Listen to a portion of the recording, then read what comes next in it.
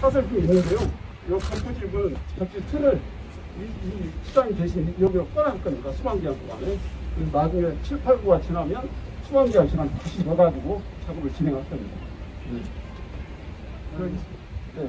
고생 많으셨습니다. 인치 배통 배수 통로를 하면 슬러지가 약간 찰 겁니다. 그건 이제 10월 초에 다 청소를 하고 나서 본격적으로 작업을 진행하면 되겠습니다.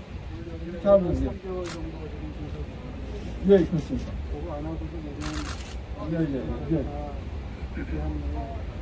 예, 예. 예예예. 200억 정도 더 추가를 예산을 확보를 해서요. 진행을 하시면 이렇게 밥버처 터널 유가를 설치하면 이 1, 2 고배수로 불이 약 32%가 저희들한테 다 와서 침수가 저쪽 기존에 침수된 지역이 침수가 예방되겠습니다.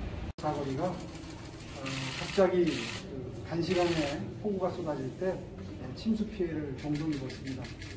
어, 그런데 어, 이제 이 공사가 완성이 되면 어, 2, 30년 진도의 폭우에도 대비가 될 수 있게 되기 때문에 어, 굉장히 기대가 크고요.